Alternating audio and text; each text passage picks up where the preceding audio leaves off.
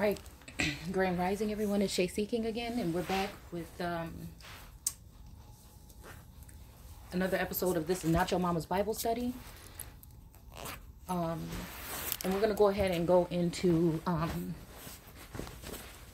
the book of Isaiah, and I think we're going to do 44, and then we're probably going to do 45, um, leaving off of what we did in Revelations the other day.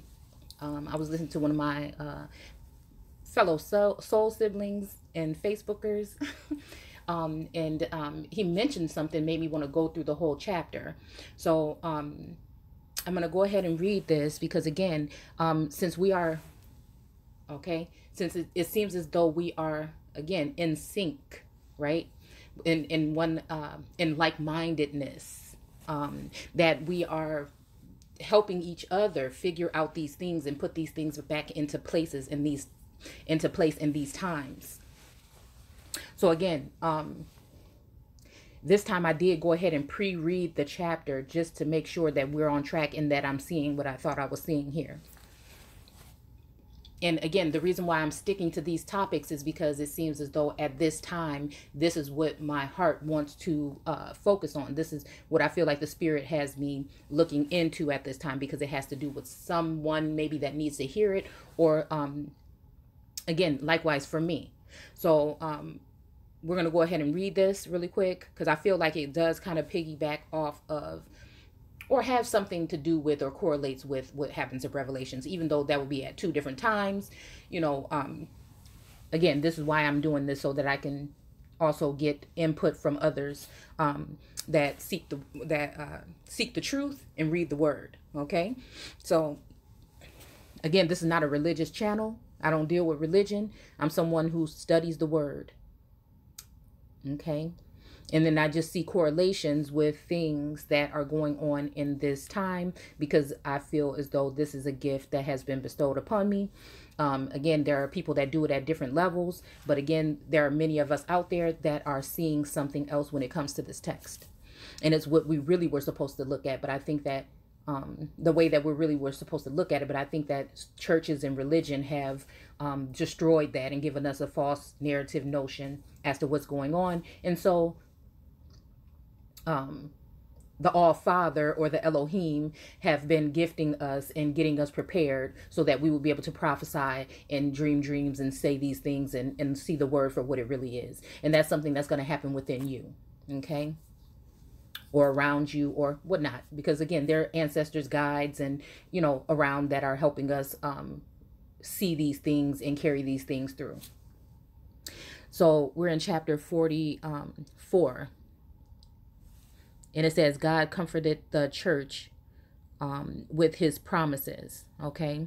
Again, the church can be the body. The body of Christ could be also a group of people. The church can be a group of people. It doesn't necessarily have to be a temple made with man's hands or even when I'm thinking, oh, even when I just thought that temple made with man's hands could be something that is a what someone may call a clone or an uh, a possibly an AI or something that's of that nature. Because again, if they're gonna um, try to put their throne up in the heavens as high as the throne of God, then you know you would have to think that too that they would be trying to create some type of beings, trans beings or something like this, uh, transhumanism or something. Again, we're just using these terms just to get people with different ideas or ideologies of what what I'm trying to bring forth. So again, that these days there could be some people that may be um, fixed in a way that would be able to um, try to copy what the most high or the source would be able to do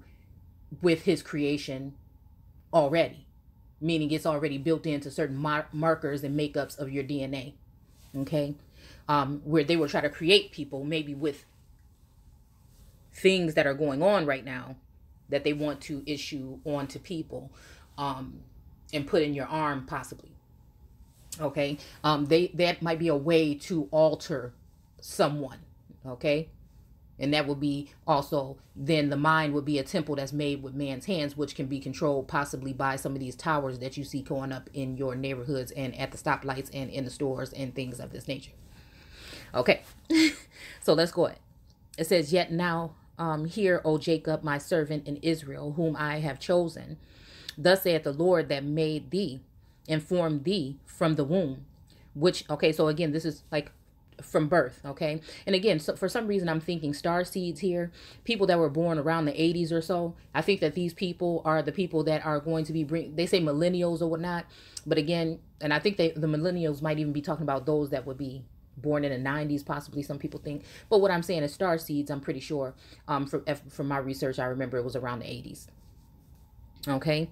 And so um okay formed thee from the womb which will help thee Fear not, O Jacob, my servant, and thou Jeshurun, who I have chosen. Now, uh, when I even just thought about that right now, you notice that a lot of leaders that have come and and they may have been utilized in a certain sense, but then they woke up at some point in time. So we'll just use that term, okay, layman's term.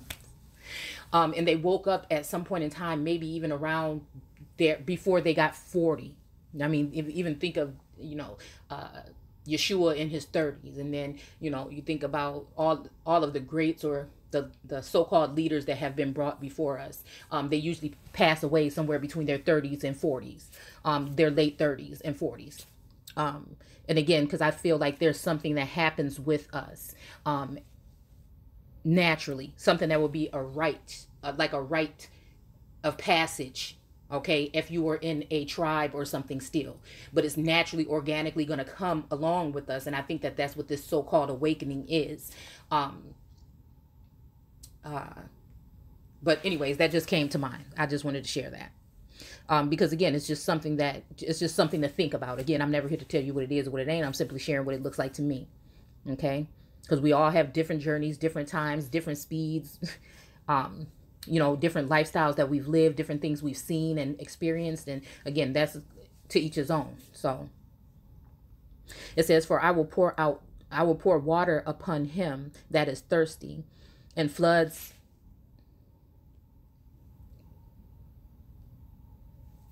apologies. Okay. Um pour water upon him that is thirsty, and floods upon the dry ground. I will pour my spirit upon thy seed. Okay, so again, this is making me think that this spirit, maybe not even a Holy Spirit, but this spirit um, upon the seed. Um, so the the children possibly, right? Um, or even you know, seeds is something that you can feed to birds as well. Um, just saying. and my blessings upon thine offspring Okay, so again, now, so we're talking about offspring or that which springs off. Um, could also be talking about children, you know, or even not even children, but those are not not followers. I don't call people followers. Uh, those that walk with this particular person could be talking about that as well, because it did break it up into two different, you know, uh, sectors. And they shall uh, spring up as among the grass, as willows by the water courses.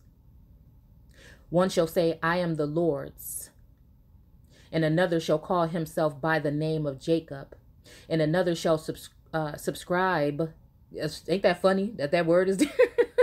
and we're just talking about followers? Wow. Okay. uh, yeah, I thought it was scribe, but no, it says subscribe with his hand unto the Lord.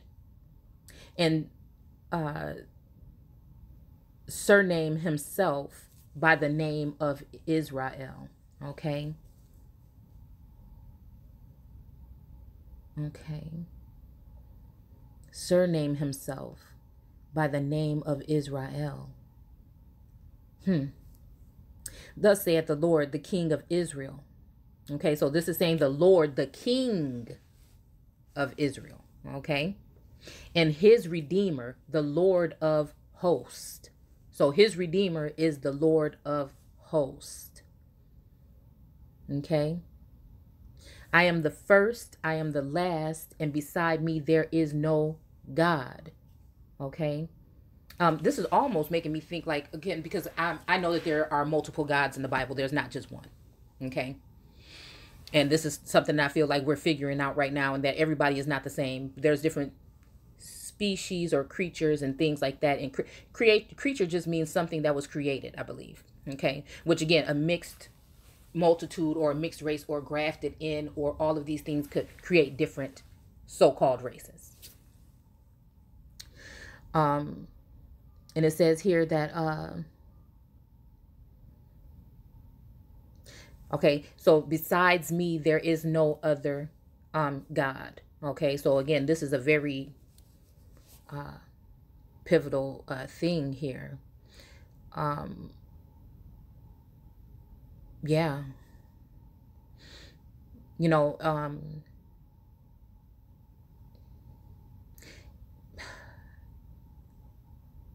I do get a. Mm, we'll just keep going because again, I, okay, I don't want to go too off, veer off too far. I am the first, I am the last, and beside me there is no God. And who, as I shall call, and I shall declare it.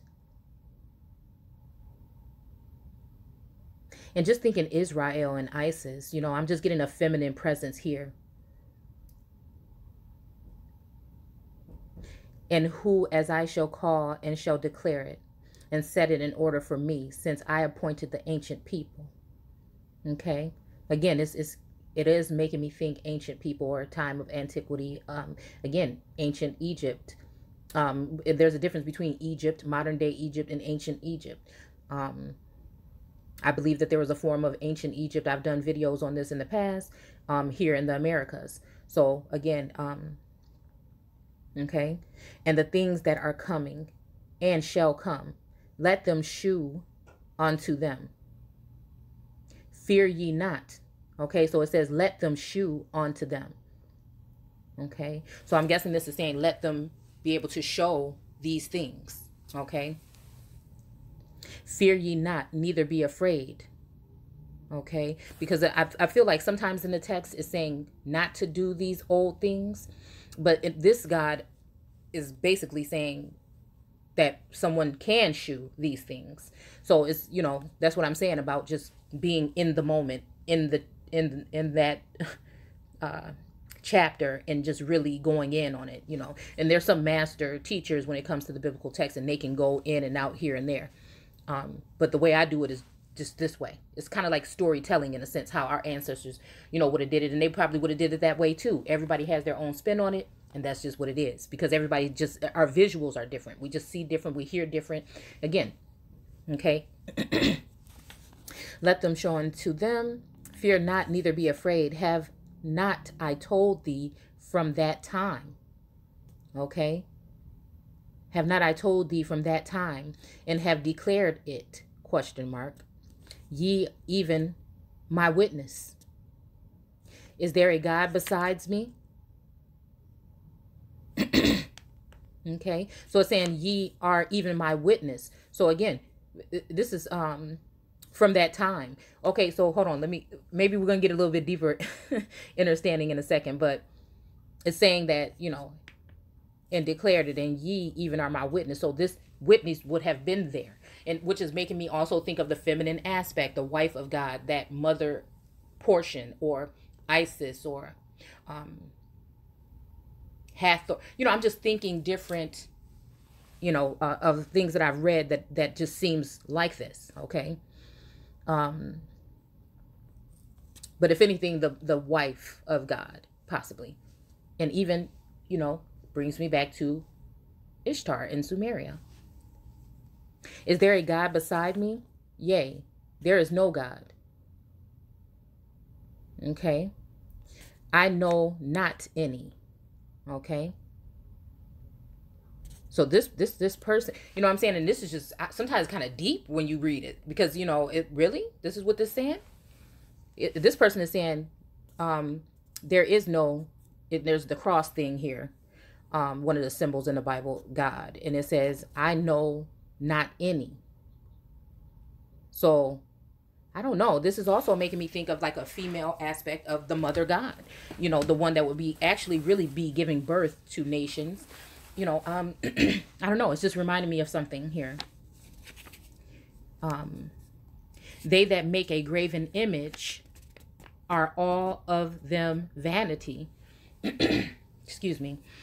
Um, and then again, I would advise to look at what a graven image is because it doesn't necessarily have to just mean a bad, ugly, or nasty image. It can also mean something else. So again, I, I, I try not to do etymology on here anymore because I don't, you know, for for time purposes and not to get too off track because sometimes I get too lost in that. So, and they're uh, delectable things. Okay. All right. So again, they that make a graven image are all of them vanity. You know, it's almost reminding me of like some kind of like uh, even like the Oscars or something like that. Like I mean, I'm I'm just saying what I feel like it, it's saying here. Um, like even like a, um, you know, any type of uh, statue or some kind of thing that would be molded. And again, this is just what the word is saying, right? Okay. And their de- delectable things shall not profit, and they are their own witnesses. They see not nor know that they may be ashamed, who have formed a god or a molten or molten a graven image that is profitable for nothing. Okay? Behold, all his fellows shall be ashamed, and the workmen, they are of men. Let them all be gathered together. Let them stand up. Yet they shall fear, and they shall be ashamed together. You know, and I'm even thinking idol worship and stuff like that. It could also be like just any other kind of statues. And again, I'm just saying that this is what this particular God is saying to some particular people at this point in time. And actually, the people that he's talking to is yet now here, O Jacob, my servant, and Israel, whom I have chosen. That's who this is talking to. Okay? So again, it may even be just talking about